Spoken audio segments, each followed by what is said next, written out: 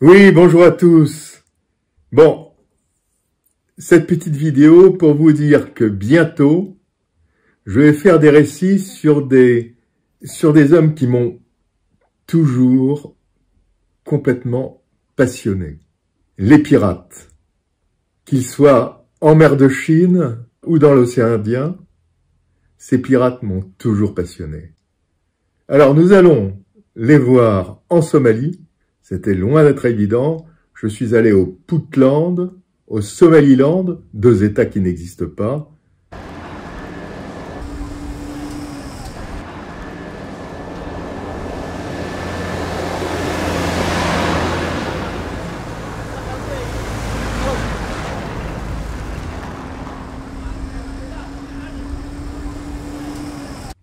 Et puis j'ai suivi également au Kenya et, à Djibouti des forces françaises. Il était prévu que, selon tout un protocole, donc, comme j'ai expliqué, il était prévu que nous récupérions les otages en échange d'une rançon que nous donnions. Une fois que chacun était reparti de son côté avec ce qu'il était venu chercher, on retombait dans le domaine normal. la rançon a été embarquée dans trois véhicules qui sont repartis vers le village.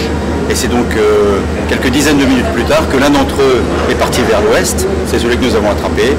Les autres par la suite se sont dilués dans la population. Et c'est donc pour éviter tout dégât collatéral, pour éviter de blesser euh, des personnes innocentes que nous avons évité d'intervenir euh, sur l'environnement du reste de la rançon.